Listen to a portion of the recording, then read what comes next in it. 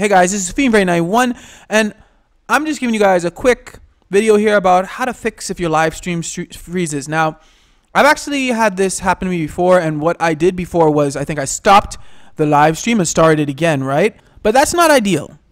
So, by the grace of God, I tell you, I believe God showed me that all I had to do was go to the OBS. This is just an OBS, by the way. I'm not sure if you use another software, I'm not sure, but this is just an OBS. So what you do is you go over to your source, whatever source you're using, and you double click it. And then you see where it says with, with Minds is Live Gamer Bolt, whatever capture card you have. You just get out of that, you go to OBS Virtual Camera, right? You press OK, and then it's gonna your your live stream will look like this for I guess a few seconds, and then you double click it again, and you go right to back to Live Gamer Bolt, and this time it should be unfrozen. Now obviously not frozen now, but this happened to me and by the grace of God, I was able to unfreeze it without stopping the live stream.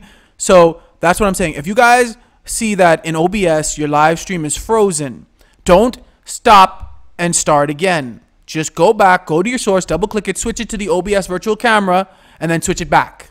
So I hope this helps some of you guys. Thanks for watching. Remember, like, share, and subscribe, and may God bless you all.